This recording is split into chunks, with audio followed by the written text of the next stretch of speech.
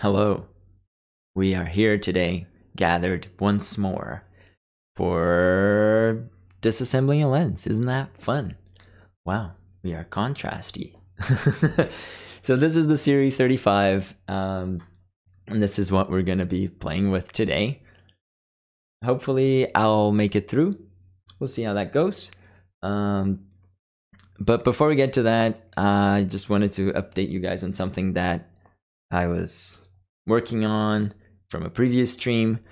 It was, I think, our second or third stream when I went to B&H and I built a camera setup. And I was like, yeah, that was the weirdest stream.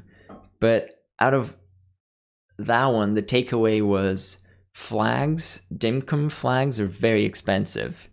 Um, they're like 60 bucks for a thing that's made of pipe. So I figured, can I do something that is a little better? And so I came up with this thing, which is basically a flag, but it costs a little less. um, uh, this is a flexible arm from uh, Helping Hands from like soldering equipment. And I just tapped a quarter inch hole here and you can mount it onto your camera cage or your hot shoe just like very easy. And uh, add some black wrap to to control flares. So here I have the GH5 I'm just quickly showing this before a lot of people get in. Um, and this way I can reposition things and just get rid of flares wherever I need them to go away. Uh, I found it to be a pretty neat solution. So the kit that I bought came with four. I tapped all four and finished the things, but I only need one. So I'm getting rid of three. And if you're interested in this solution, you can check the shop. I only have those three there, and as soon as they're gone, I don't think I'm making any more. Uh, they come with the arm, a quarter inch to quarter inch adapter, and a little bit of black wrap that you can use on um, on the front. Max is saying that something is wrong with the video. It's skipping or something. Oh, I see it too. Uh, Blake, do you see that?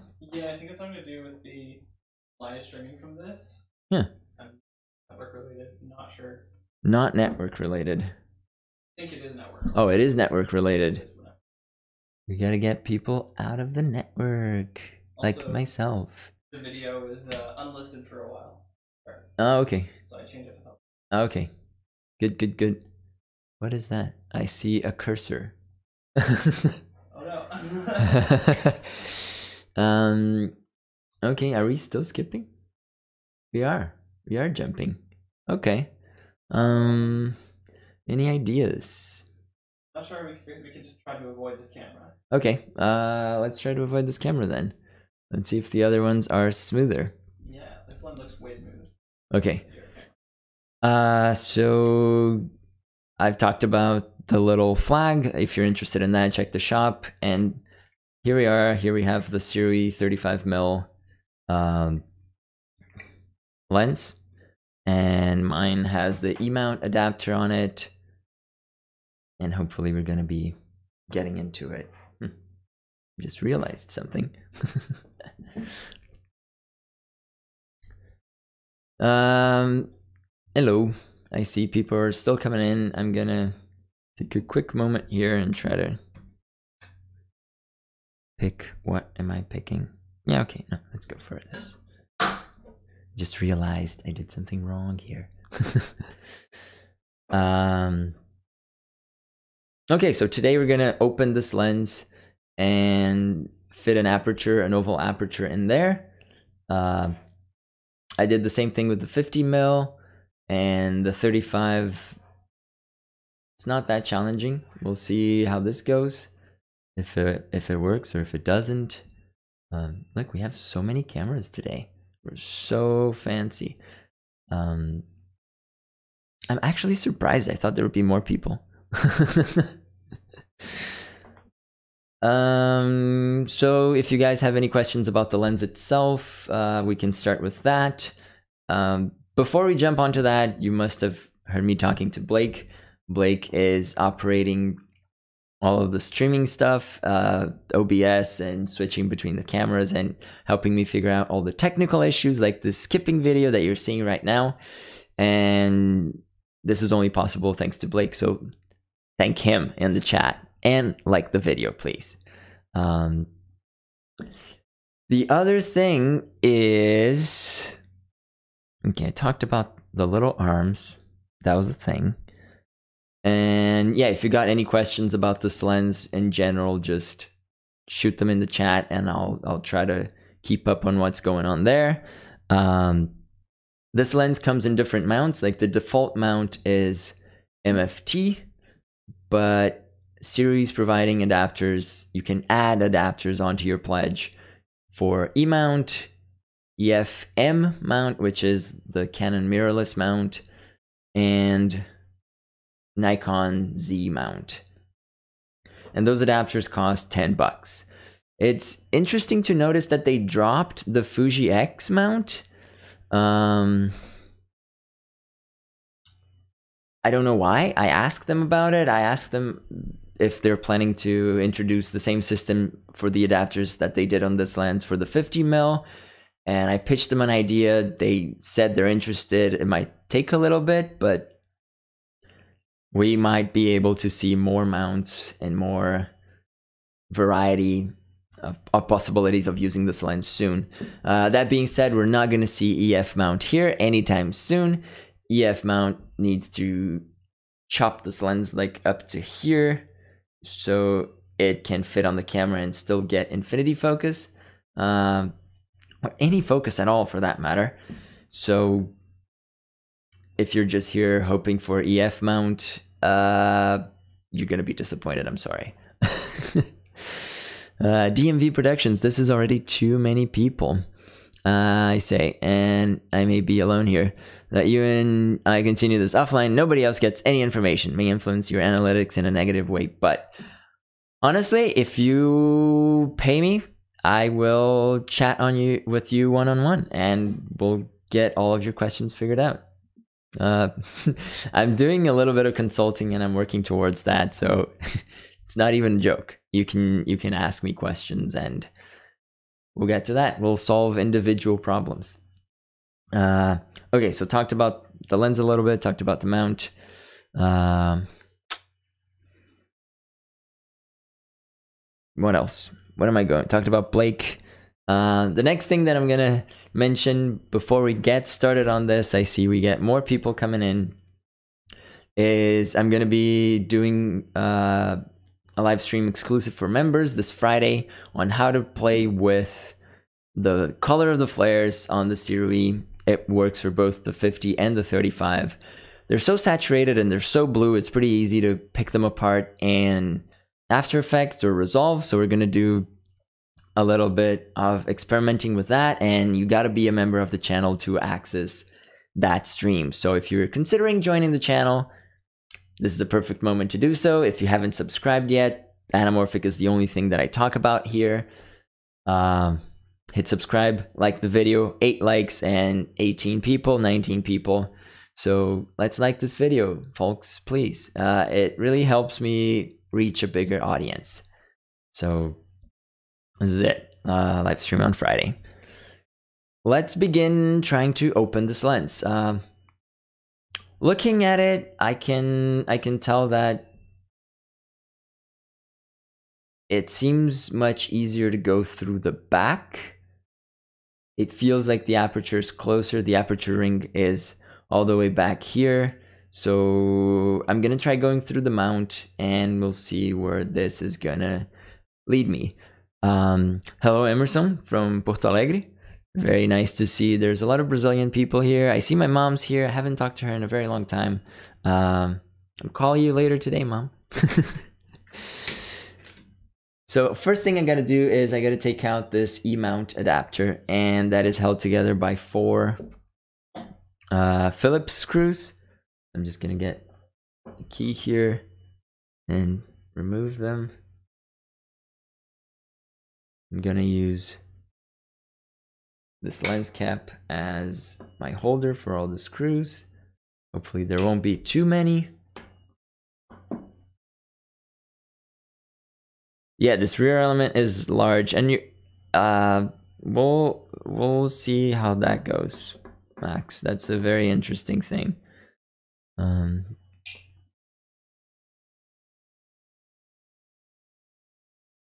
my mom is now questioning if she misses me. I thought you did, mom. I thought you missed me. So here we go.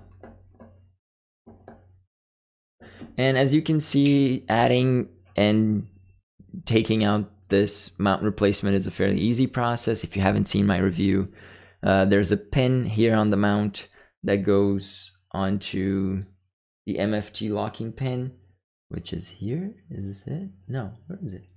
Oh, here, which goes here.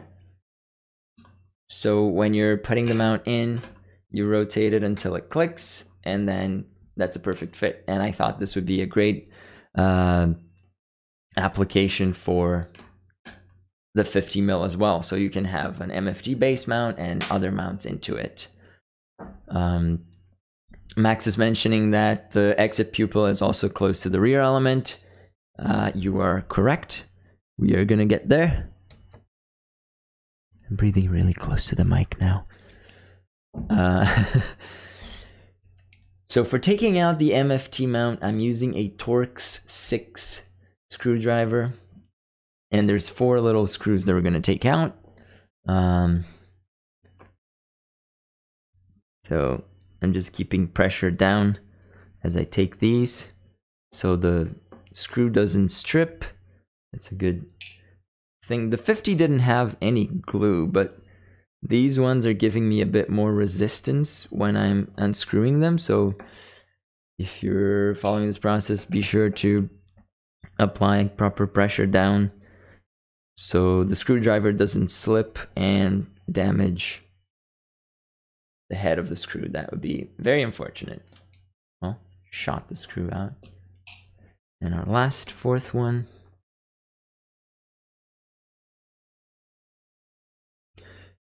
Uh, Daniel's saying the exit pupil should be large enough for Super 35. I mean, the lens covers Super 35. It would be surprising if it wasn't. Um, and Max say, says that the rotating locking system is similar to the CP2s with the mount, where there's stories of people installing it wrong and tightening screws, damaging the mount. Sounds excellent. Um, just what I like to hear. Lucas, this chat is like my mirror. Every time I look at it, there's only beautiful people. Oh my god. Really coming in hard on this now. so I'm just gonna lift the MFT mount out and you can see here our our friendly shims. There's only one. Yeah, there's one shim. Two shims. I'm not gonna take them out because I don't want to go through the trouble of putting them back in. My collection of pieces go here. And now I'm given a few different options. I got three screws. I guess I can point with this. One, two, three. And I got these holes. So let's see where this is gonna go. I think I'm gonna take these three first because I can see what's going on. Well, it seems that there's also uh, Phillips screws down there. So we'll do both and see where this leads us. Uh, so Max was just talking about the size of this rear element. Um, let's see if it comes off and if it's something manageable. One.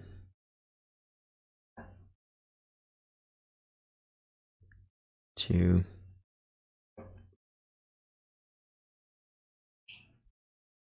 And three.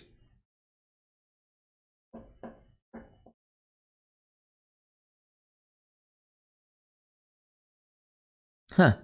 Yeah, Max is mentioning that an interesting test would be to remove these, the anamorphic block altogether and see how large is the image circle for just the spherical lens. Um, that is actually a pretty neat test, but I think I would have to disassemble the entire lens from the back as I don't see any access points through the front. Um, let's see how far we can get. So I removed three tiny screws here and I'm just gonna pull out this. Uh, there's an element here, just sitting on this housing. Didn't help me much. I still can't get to the next element, which I'm assuming means that I have to go through these tiny holes here and hope that this whole block is going to come off and we can access whatever it is in this element. Uh, let's see how that goes. I love taking out screws that are hidden. Oh, I got the first one right. Again, keep putting pressure down on these to make sure they won't slip. And since these are coming out of a secret hole, I would say try to pull them out straight so they don't fall back into the lens. Uh, not nervous at all doing this.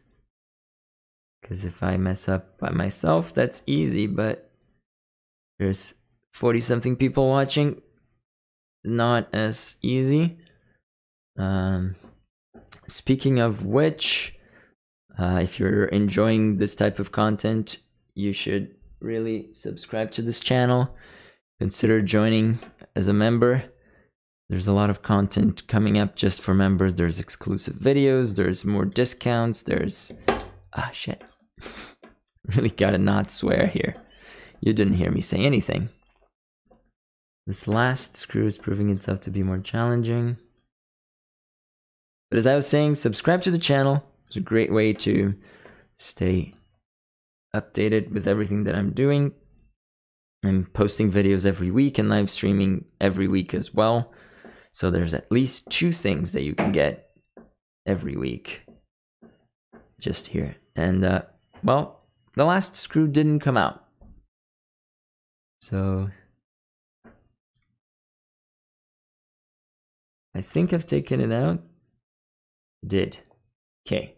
Last screw did not fall inside the lens. I'm putting it there. And I'm going to take...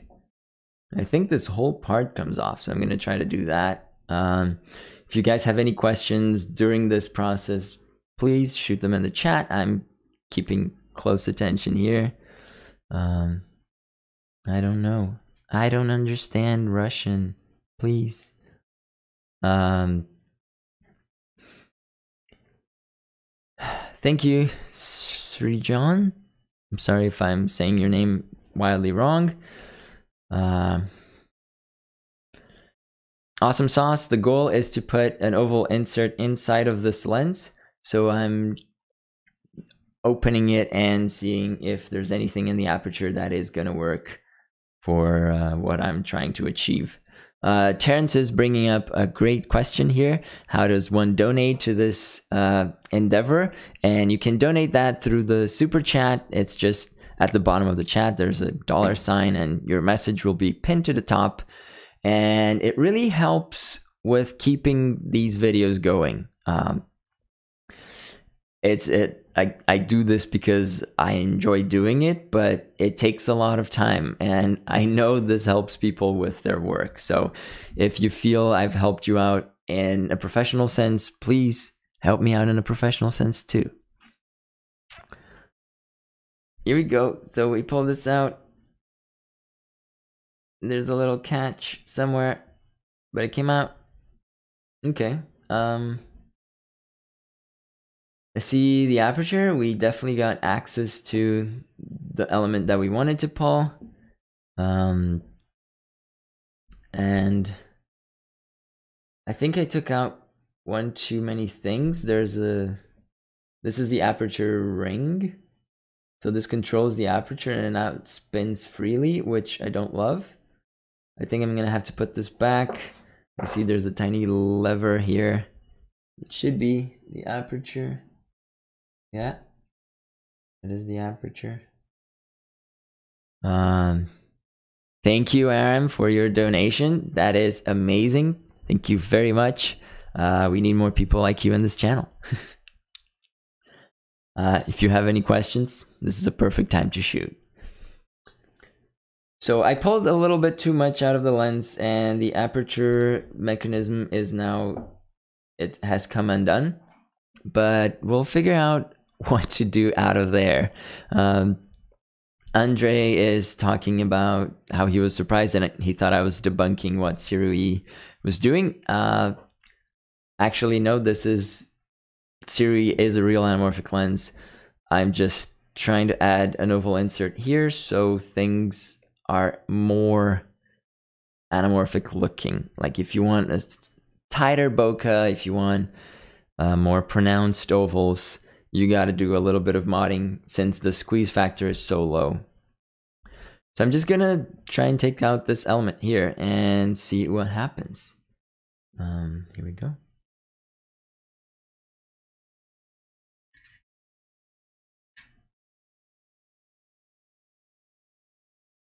Okay. So we got this out. Uh, and we have the rear group and we got to the aperture blades. I'm going to put the rear group facing down here. So there's a lot of, uh, hold on, DMV Productions, tell us of your home world. What do you mean by home world, my friend? Um, this is indeed the aperture and it's so neat. It's got like 11 blades. I'm liking where this is going. Uh, let me catch up here. So the 5133 acts more like an 85 2X 185 on a full frame. Not sure if I follow the math. Uh, if you add an oval to the 50, it's gonna be like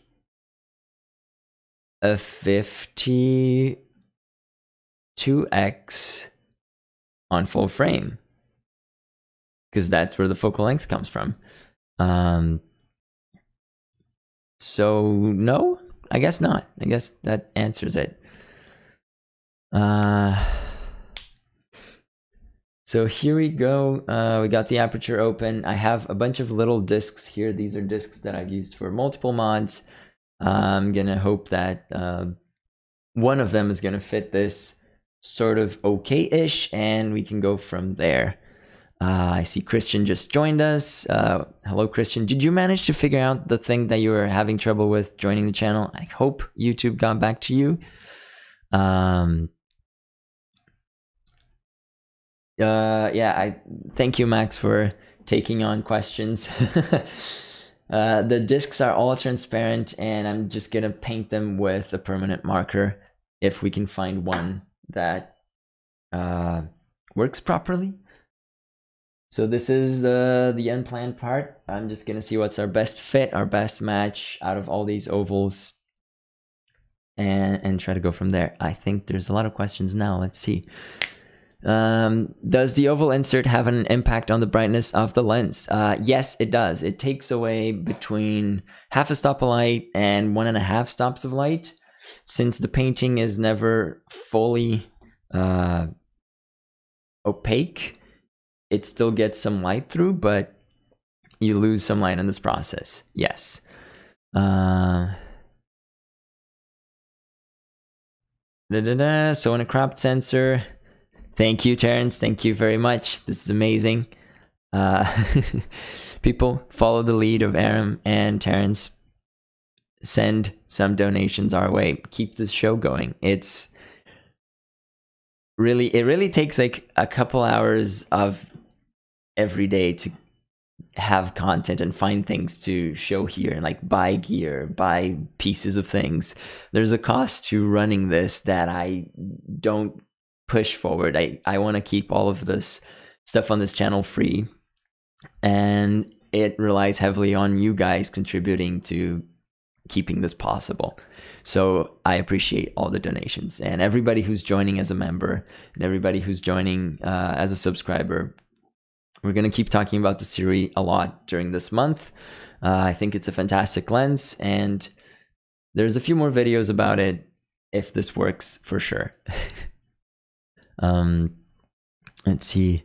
Uh, Shiko's asking, can this be adapted to EF mount cameras? Will this lens and the 35mm version pass Super 35 sensor size cameras. they will not perform very well above on sensors bigger than Super 35. If you want to adapt this to EF, the lens has to go about this much, and like the mount comes about here, the EF mount.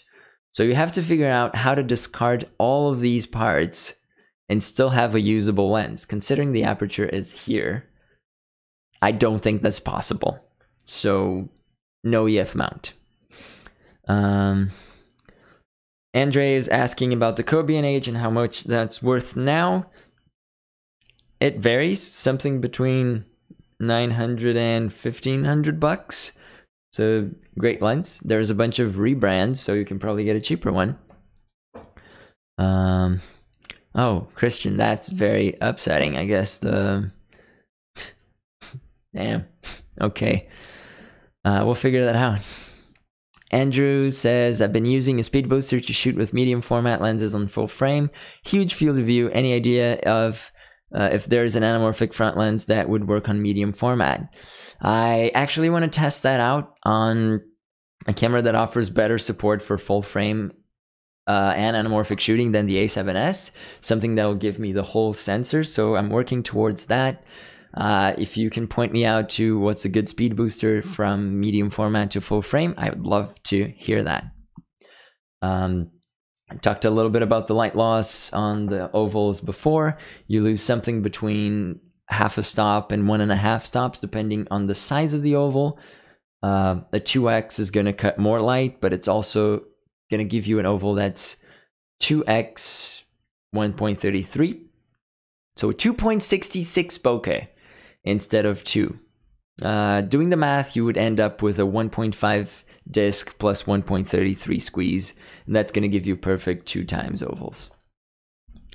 Um, okay, so let's see. Awesome sauce. Do you think I could mod a Canon 58mm f1.2 for oval bokeh and anamorphic flares? You can definitely do that. I am dying to try out some Canon FDs and FLs because I got a lot of people asking about them. So if you want to buy the lens and send it here, I'll mod it live and send it back. How about that? um, let's see. Hey, my dad's here. Hi, dad. Uh, thank you, Aaron, for appreciating the hard work. It, it it really is hard work. It's been my main work during quarantine, so it's not a thing that I'm just hey, I'm doing this for fun. It's I send so many emails about this project every day. You guys don't even know about it. um, all right, DMV Productions. Do you have a Venmo or alternate donation method? I don't like getting updates but I would like to donate. Okay, here we go. There's a PayPal address. Let's see if it's gonna work this time. PayPal.me. T USD. Oh, it worked. The link worked now. Thank you, Terrence, for pointing that out. DMV Productions. You can follow that link and send a donation. Uh, that is greatly appreciated. Um, is asking, will the 35 mil anamorphic give you vignetting on your A7S full frame? Yes, it does. If I'm shooting full frame, there's a lot of vignetting actually. Um, uh, the corners get very dark and we still have to punch in. I'm covering that on another video. Joe, thanks for becoming a member of the channel. This is amazing. Uh, thank you, thank you, thank you. This means a lot to me. Uh, and people believe in this channel and really want to commit to it. I really appreciate what you're doing.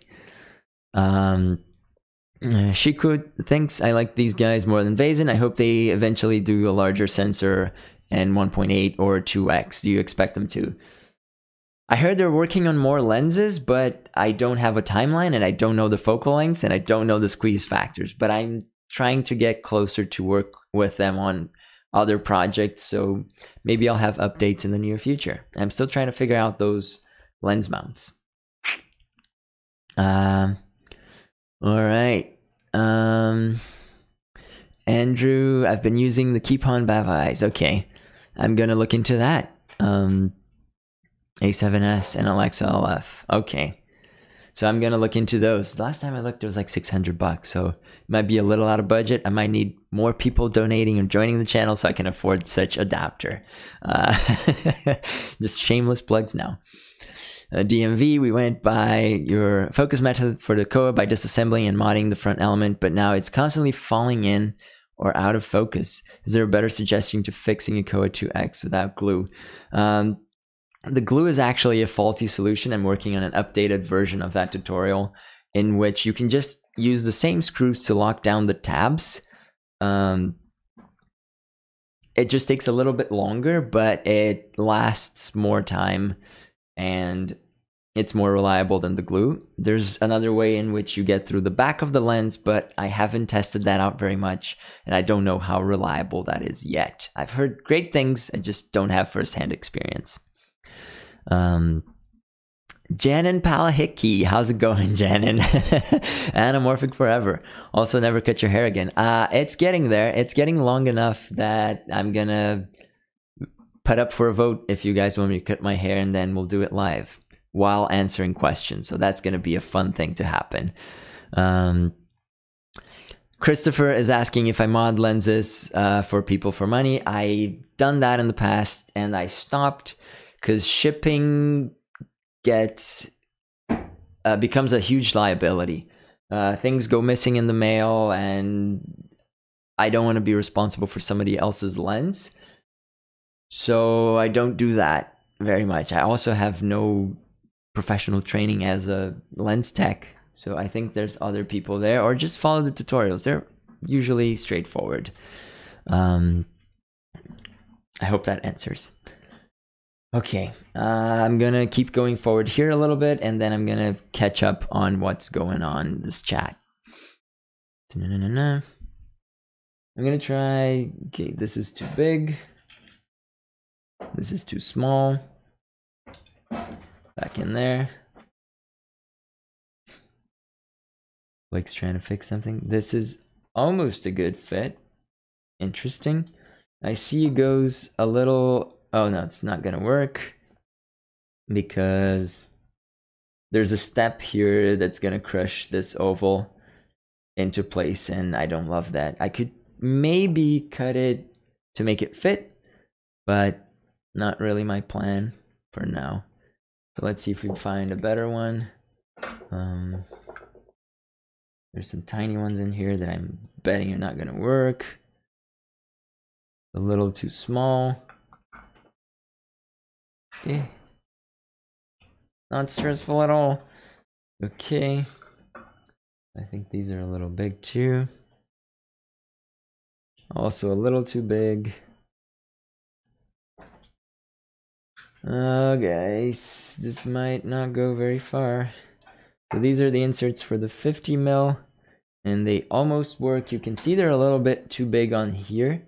So I'm cropping the top of the oval and the bottom and they also don't fit as neatly as I want them to. Uh, oh no, these are the Helios 44 inserts. They're not the original series. Uh, down to two. I guess this is obviously not a fit. But there's some smaller in here. There's one that's already painted black. Okay, let's uh let's try that. Oh yeah. Okay, now we're in business. This worked. This worked really well. Uh if I open it up, will it fall down? Hmm. Okay, this is kind of perfect. But this one's already painted and it's 1.5, so I'm going to take this out and replace it with a transparent one. Lucas, thank you. Dude, you are the best. You are uh, such an inspiration. Oh, yeah, it is for Blake. There you go, Blake. You're getting it now. This is just for you. Amazing. Yes, that's the way to go. Uh, so we got ovals that fit. It's a miraculous fit here. Uh, I got a 1.5 and I got it two times. So I guess it's up to you guys. Do you guys want me to do what size? 1.5 or 2x for this? Uh, let me know. In the meantime, let's catch up on what's going on. Uh, wow. I stop answering questions and you guys flood me with stuff? That's not fair at all. Um, Steve Holt, if Sirui made a 1.5 times squeeze, and even if they double the price, I would be very interested. I hope they're successful and make more lenses. Just a little more squeeze would be nice. I second that. Uh, considering how their Indiegogo campaign is going, I think it's at 4,000% funded.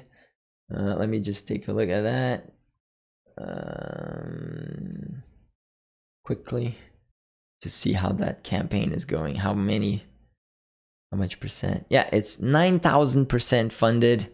So I guess it is working. they are definitely being successful in that, and I hope they continue making lenses. Um, Aram agrees with that. Uh, DMV Productions, thank you. Stay tuned. Uh, oh, yay! Repost my stuff. Yeah, share the videos. Help me reach more people. Um, it.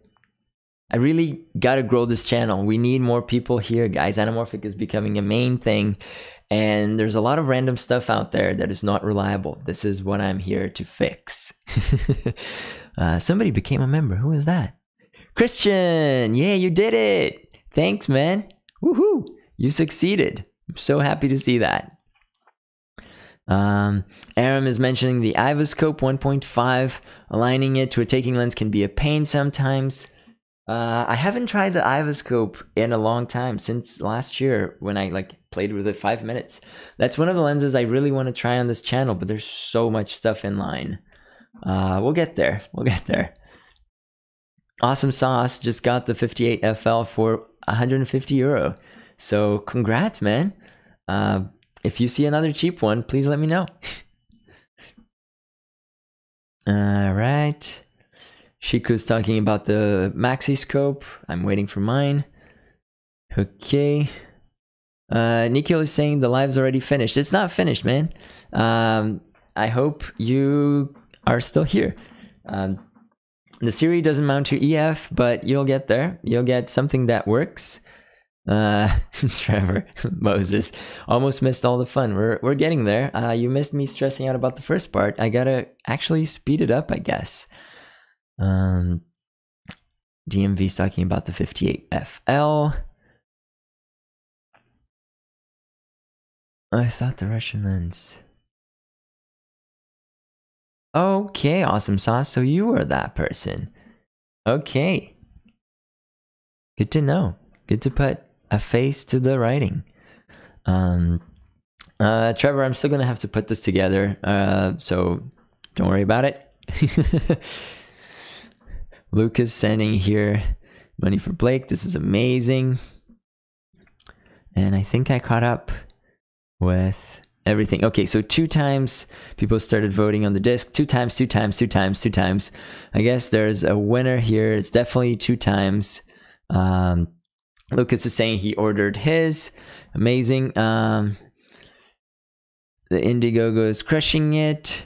If they can deliver a full frame anamorphic for 225k, that would break the market. Yes, that would. I mean, they are breaking it with this 600 $800 lenses. So uh, they are already breaking it. They just can break it more. Uh, everybody's going with two times. Thank you, everyone. Uh, here we go. Okay. A super telephoto anamorphic possible. Yes, it is. I've done 300 mil, so yes, it is possible. Uh, yes, uh, Cinespedia. Y así es como aparece un comentario en español. Uh, I can understand. If you want to type in Spanish, I will understand just fine. okay, so everybody voted for the two times uh, disc. And since this disc fits so well, I'm going to put this on the shop and you can go and get yours now. There's a code for it. Uh, before you do that, if you're a member of the channel, there's going to be a better discount code. So keep an eye on the community tab after this video and you're going to get your exclusive code that gives you more discount. Uh, if you're just modding with, if you're not a member of the channel, there you go. You got, uh, oops, too many things came together on that link. Uh, I don't know, will it work though? No, it does not work. Uh, let's try. Whoops. Too many slashes. Shop. This is the shop, and the code at checkout is Mods, which will give you 15% off. But again, if you're a member of this channel, do not use this code. You're going to get a better one. Uh, I see Andre has joined us as a member. Thank you. It's amazing, man. I really appreciate. Uh, we're going to keep going. Okay, two times disc. I see we're running out of time. I'm gonna have to reassemble this thing fast. So let's paint my fingers black, huh? How about that? Um, it's always changing. Tell us more about diopters. Uh, George, uh, George, Jorge. Uh, please say how I correct your name. I'm using diopters. They're a subject for a video that's coming up soon. So subscribe to the channel if you haven't yet. Uh, you're gonna you're gonna like that one. It goes in depth about it. And here we go. I'm gonna paint this with a permanent marker, and then I'll catch up with what you guys are saying. And you don't have to do the best job of painting it. So the discs are always transparent, and I paint them black. I paint them with multiple layers just to make sure it shapes the oval best. And it was a providence to have this paper down here. What a coincidence, huh? It's almost like I felt I was going to succeed. Okay, this is enough for one side. I'm going to turn it around, paint the other side. Um, if Max is still around, I think he would want me to keep going. I see tiny screws all around this lens. But I'm sorry, Max, I'm not going to disassemble this lens fully as my sister is using it for a short film this weekend. So I have big interest in keeping it working at least for a few more days before I can break it. Um, okay, so this is black now. It's good enough. And oh, there's a bunch of challenging things to do actually. Uh, let's see here. Shiko, how long before we have more players who are really indie level for anamorphics? Uh, I know no such thing exists now, but eight years ago we didn't have the luxury for lower budget digital cameras. I know, man. Uh, I think this is what Sirui is doing, and to some extent, Vazen and Atlas, uh, they're doing that as well. Uh, so that, let's just hope the somebody keeps pushing the limits on what's achievable. Okay. Uh, Afif is asking if I can try anamorphic live stream. These are usually an anamorphic. I've been using the Sirui 35 for live streaming. This is the only one that is not because, well, I had to take the lens apart. um, so that's that. Okay, no more questions. This is going well. I'm going to pick up this oval and I'm going to drop it in here. I have to solve the problem of how I'm gonna get this lever back to working. Uh, so this has to fit in there somewhere and I have a feeling that this comes apart. So now I have little, what is this called? Tooth is gonna go around this aperture lever.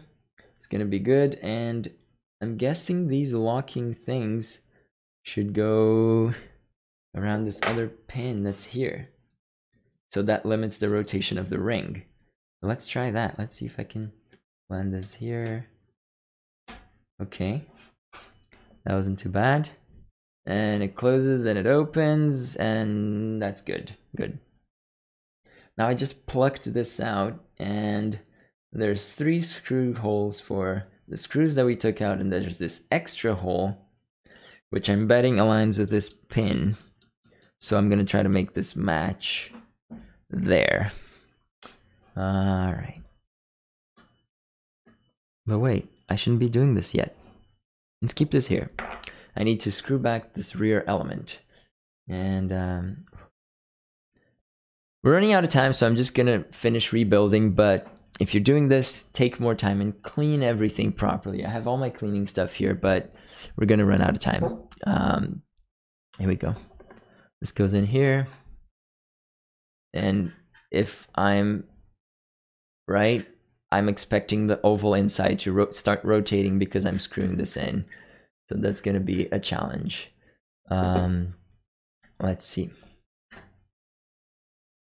Not yet. Now it is. So you can see this oval rotating in here because this friction is holding it down. We wanted to align with something. We wanted to align with the same direction of the squeeze. How are we going to find that out? There's a part of the lens that faces up. It's this line. So we want the longer side of the oval to point in that direction. And that also matches this pin that we're guiding the next part. So if the oval matches the orientation of this pin, we're good to go. That's what we're gonna do. Um, let's try that. It's a little bit off. If it's on the table, is it visible? Yeah, Like, like, like If you if I put it like this though? Yeah. Okay, cool. It's just not visible for me. I'm gonna lean in here. So this is where it should be, but it's not. So I'm gonna unscrew back a little. And what I'm gonna try is to pull up the element and hope that the threads disengage from the oval and it just allows me to rotate a little bit more without turning the oval. And it kind of does for a little bit. Almost there. I just need a little more play. There we go. And now I wanted to rotate it back. Oh, it got worse. Okay, so I guess I need more. Oh, here we go. And now I'm gonna tighten it. The oval is kind of pointing to where this dot is. Uh, I just quickly read Max's comment on I hate their font. I couldn't agree more. Uh, it's very generic. Okay, so we got the oval to align this. That aligns the top of the lens. And it might need a little bit of fine tuning, but I'm gonna finish reassembling so we can finish this tutorial. So this the little pin is here and it's here. Just gonna try to wing it. Okay, this worked. Um, now I'm gonna screw back everything else. This three tiny screws are here. I'm just a little anxious because if I keep dropping these screws, they're gonna land inside the lens and I'm gonna have to open it back up and rescue them. So try to put them in as straight as possible. Oh, first one is a match. Um, here we go. Uh, Max is talking about Vazen. Vazen has a lot of potential. Uh, yeah, I'm a big fan of them. They just announced their 85 mil full frame lens. Uh, also 1.8 stretch. So try to get one of those so you guys can see what it does. Uh, uh, second screw. No, yeah, here we go. Uh, Chadman Smith, Rokinon has said in the past that they're going to make anamorphic lenses, but it still hasn't happened. I really hope they decl- decide to after seeing the success Sirui's having with them. Yeah, Rokinon, I don't know, man. That rumor has been around for a very long time. Um, I don't know what to make out of it. Third little screw. Uh, time for a haircut. I don't know. I don't know. I'm growing this hair because I have a purpose. Uh, you'll get to know that purpose soon enough. But I guess a haircut's kind of inevitable. Uh, Aram. Yeah, I think Sirui is going to inspire the market to create some more affordable anamorphic lenses. The fun thing is, if the market doesn't catch up, uh, Sirui's gonna own the market, and no one's gonna have a chance. Uh, so they better hurry. I'm gonna add back this element that I took out that I absolutely didn't have to. So I'm just matching the screws. Um, just had shorter screws, so it's these guys. Back. And having a screwdriver with a magnetic tip really helps here. Um, here we go.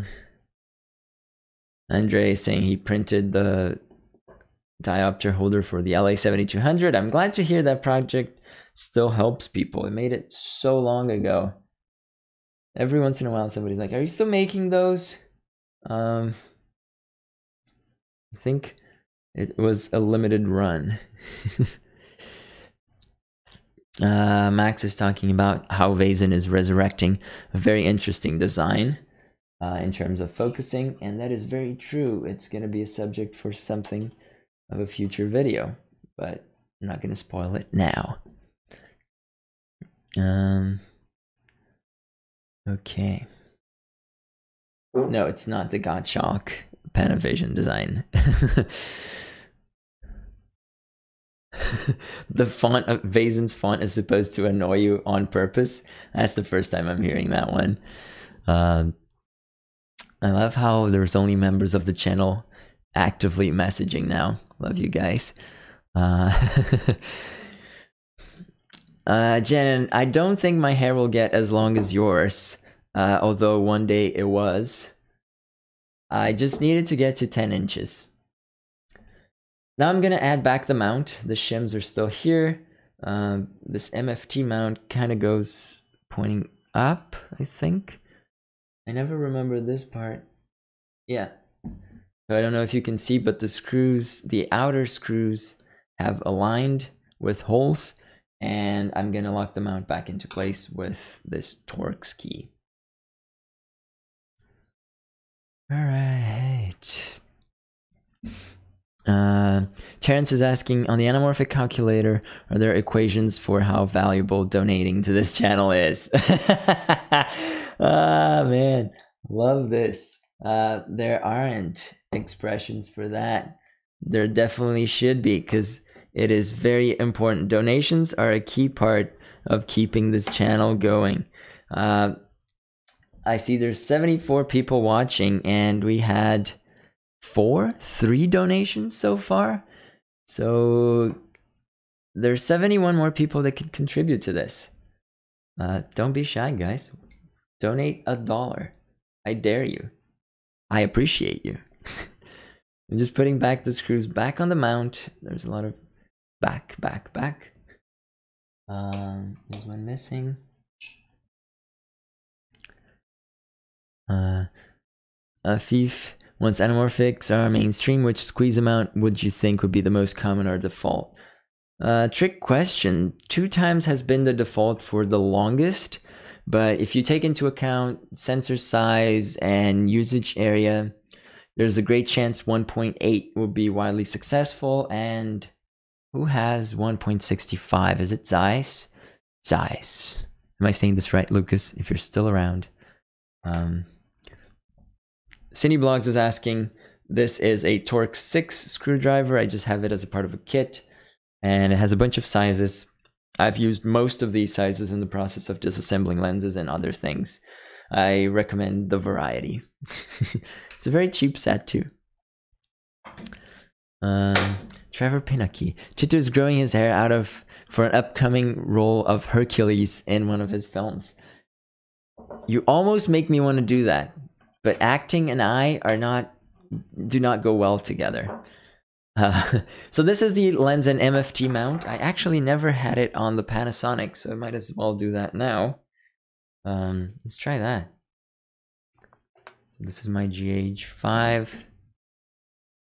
And if I put the mount incredibly wrong, this is not going to go anywhere. I think I'm trying to fit it the wrong way. The red dot goes there. Yeah, I was definitely trying to fit it the wrong way. I'm still trying to fit it the wrong way.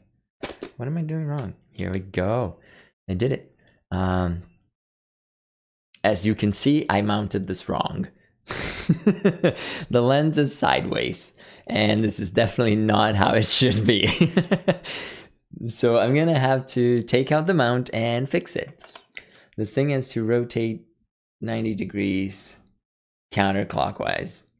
Okay, good good call mounting the lens before I called it done. Um there you go. All right. Let's take this out then. You guys enjoyed this tool so much, I just keep going for it. Okay. Um Ank, uh, Ankit, oh, there's something that just so satisfying about seeing something being taken apart and putting back together. I couldn't agree more. Uh, this still scares the hell out of me every single time. Um. Hey, thank you, Nikhil. Thank you so much. This is amazing, man. Let's convince Sirui to get an EF mount then. Z- Zeiss, Lucas? Would that be better? Zeiss. Can I do it? Did I do it right this time? Okay. Oh, sorry. So I'm gonna rotate this 90 degrees, and I'm guessing it's somewhere here. Nope. Somewhere here. Yeah, okay, so this is the proper orientation. The red dot goes along with this line. So the red dot on the mount goes along with the line. That's what you need to do if you're putting back your MFT mount and you wanted to match the proper placement of things. Here we go. All right. Do it. Um Joe, I so want to send you a work tray, something with edges to those screws don't roll away. Dude, I would really appreciate that. Um I'm still getting used to this live stream setup. I'm surrounded by stuff here. I can barely like open my arms. Uh, there's so many moving parts that need to be around. A working tray would fit here nicely instead of this sheet of paper. Um, that'd be nice. I guess it's an upgrade for the next mod. uh, here we go. Since we're talking so much about my hair, uh, I enjoyed this conversation because once somebody left a comment saying that they really appreciated the content, but they couldn't subscribe or follow the steps because my hair was so unprofessional. And I was I was really taken aback. It was the year that I was going to film school and this was a reason for a lot of jokes and a lot of laughing uh, for several months, I guess. Um, so yeah, I like to grow my hair for my secret reason that you're gonna know soon enough, and also to upset people.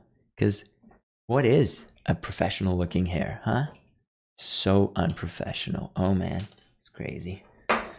Um, so I'm adding back the E mount. It clicks in place. Um, we just got this going. Oh, Lucas is really teaching me here. And a double S also means it's super sharp, kind of like the S in snake. The front and the back. Okay, so Zeiss. Zeiss? Is that going? Is that working? Uh, I didn't do this right? Uh, it's not my day, guys. I put the screws back in wrong three times now. I'm gonna have to take them out once more. this is what's blowing up our time. It's me putting wrong screws in. So it's not the outermost screws that need to be put back in, it's the innermost ones. So I guess they do have the same threads and the same size, which can be a little confusing. CineBlogs is saying at least rotating it uh, is an easy way to get it 90 degrees. Yeah, if I wanted to shoot vertical video, that would be the way to go. Actually, that's a bug or a feature to be decided. What do you guys think? Being able to align the lens uh, 90 degrees off, is that a bug or a feature? All right. Okay, so I did it right. Um, I've I've been seeing a lot of people saying the name of this lens wrong, and it upsets me too. Like things have a name. It's like my name. People say my name wrong all the time. I got used to it, but I try not to say other things wrong. Uh, it reminds me of Vazen again, because when I recorded that video, I said Vazen every single time I mentioned the lens name, and it turns out it was Vazen. So I had to record a bunch of additional voiceover uh, to just to patch that up.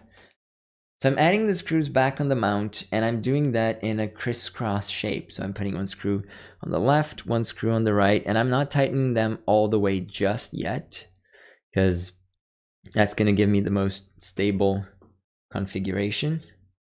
All right, here we go here. Third one. Eh, really doesn't want to come with me. Okay, what lens is on the camera for the close-up shot? I like it. I dropped the lens. I dropped the screw on the glass.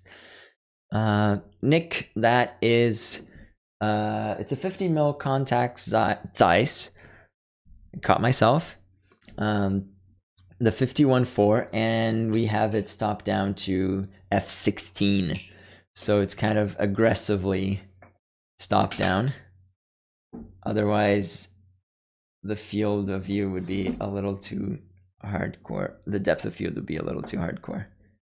Okay so the last screw is here all right all right all right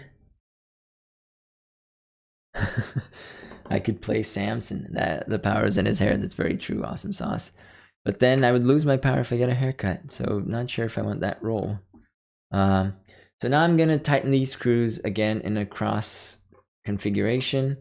Um, left one first, then on the right, then on the top, then on the bottom, and always pressing down to avoid stripping the screws.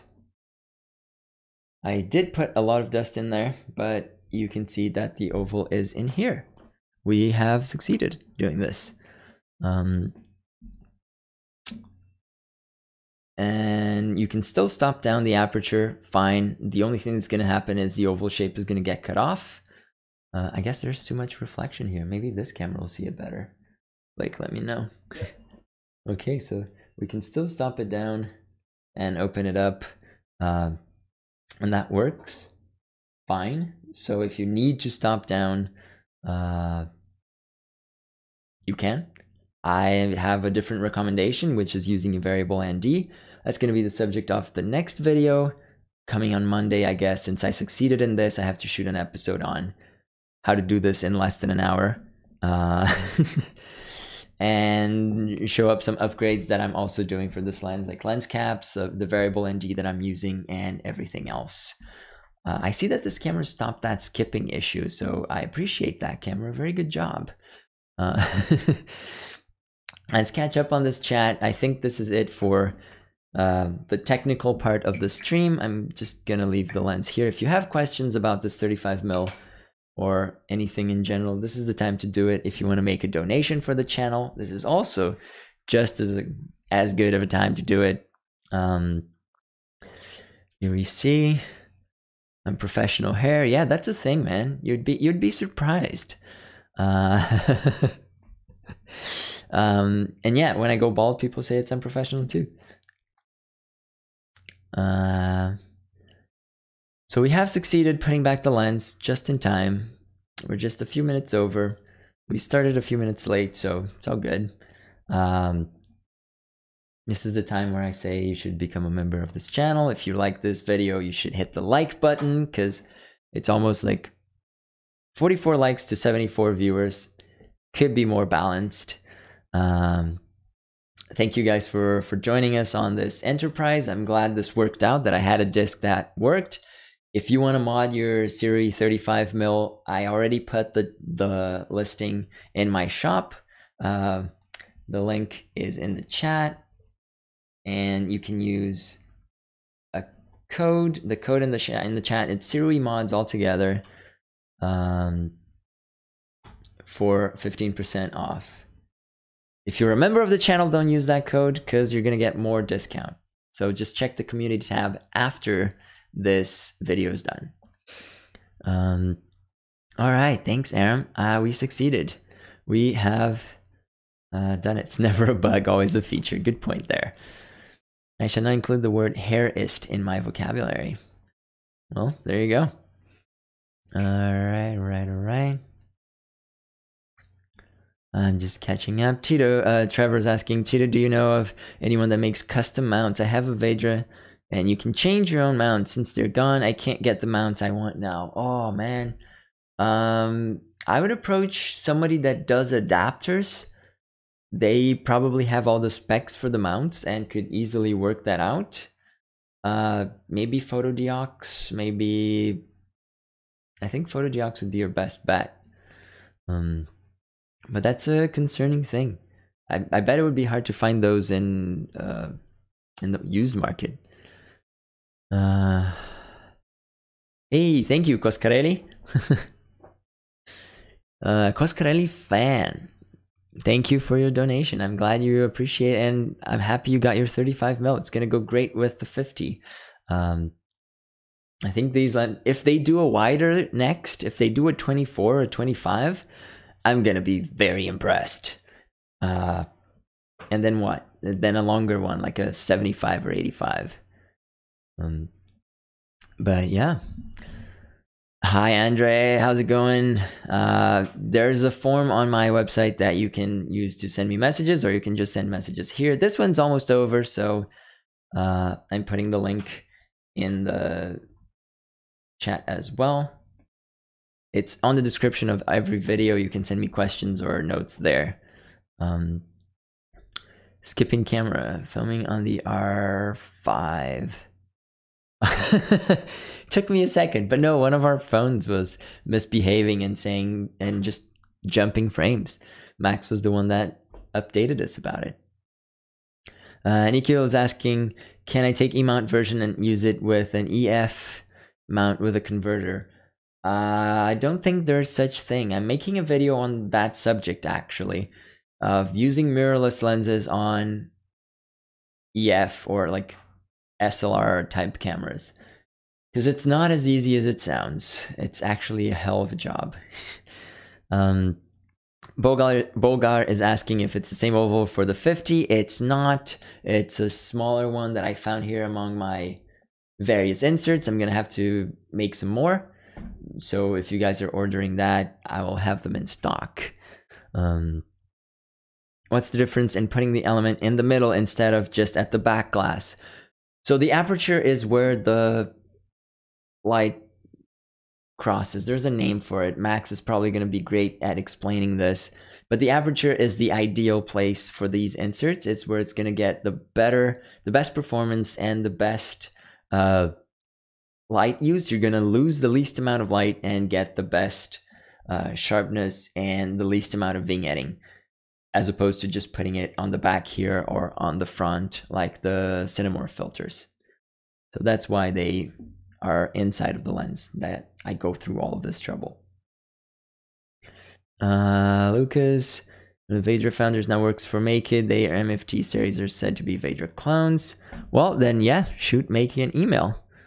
Um, is this film just an off-topic question? I saw many of your videos on YouTube. Can I find? Can I found somewhere your works on internet? Thank you. Uh, some of my shorts are on the channel. You can find those there. I've been uh, shooting a lot of stuff that didn't go online yet because it's going to festivals.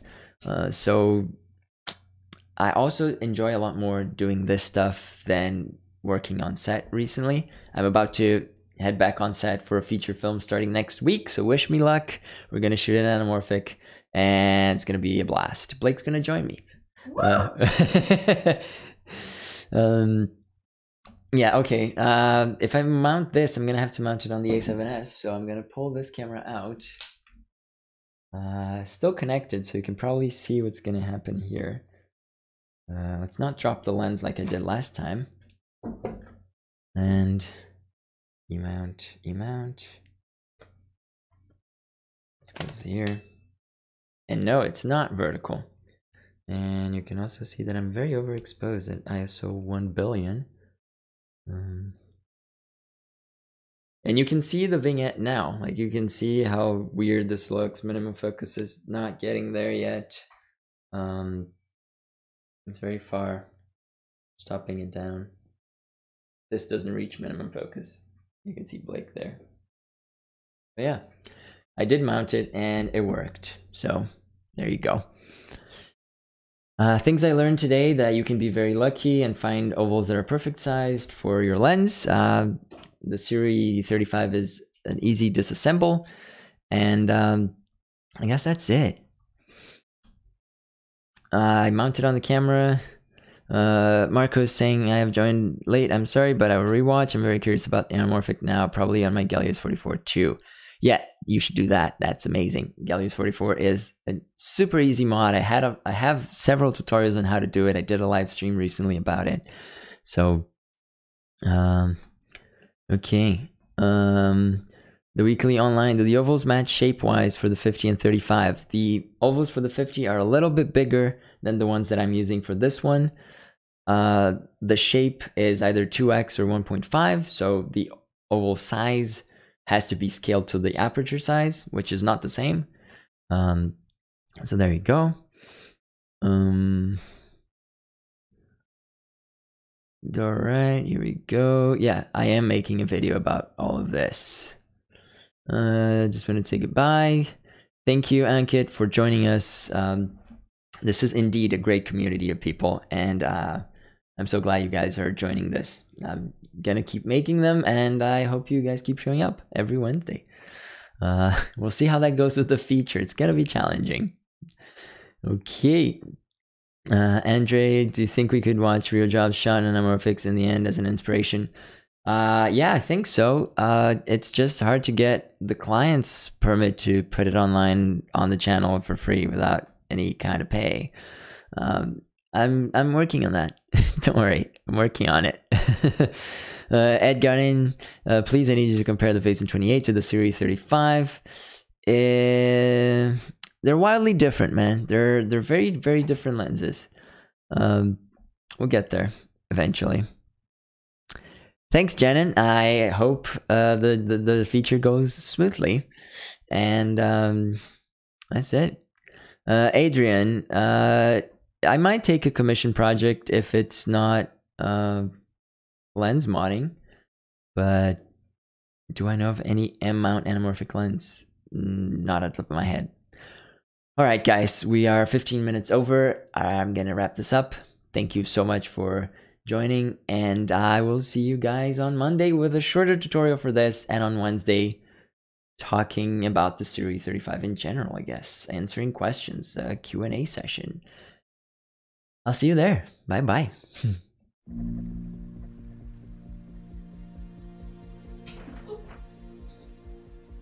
I love how you have sound over this. We do, yeah. Last words to. See ya.